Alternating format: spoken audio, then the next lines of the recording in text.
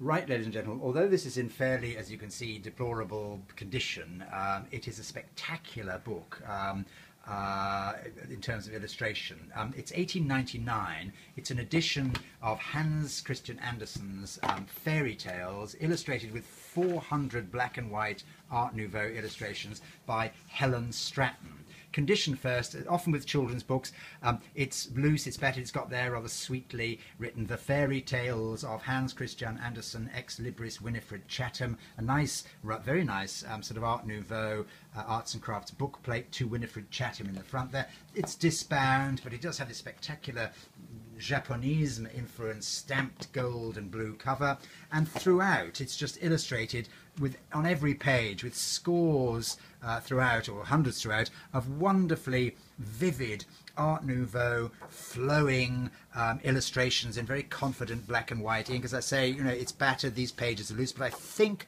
the text is all complete. Uh, and some pages, a few are scribbled on like that, two or three, but the rest of it is um, all um, uh, as it should be, I think. Um, really, it's it's for somebody um, in, involved in decoupage or illustration to get inspiration, or somebody perhaps even print selling. If you were to take out some of these illustrations and mount them and frame them um, in their wonderful use of black and white space, um, you could make a bit of a profit, I think. As I say, delightful for the stories as well. So a reading reference copy, uh, an art history copy, if you like, for Art Nouveau illustration of a very handsome book. As I say, distressed, but even in this condition, it fetches decent prices. I found two fairly poor copies on the internet, one selling for £100 and the other for £126. There we are.